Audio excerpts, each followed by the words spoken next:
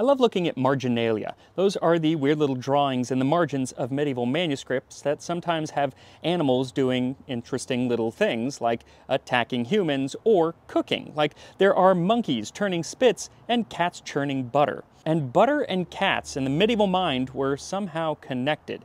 There's actually a 15th century document called the Distaff Gospels from France that suggests if you have a good cat and you don't want to lose it, you must rub its nose and forelegs with butter for three days and it will never leave the house. What's crazy is that even today in the 21st century, some people still believe this. When they move houses to stop the cat from trying to go back to the old house, they'll put butter on the cat's feet does not work. Don't put butter on your cat's feet. But still cool that 600 years after it was written, that myth is still floating around.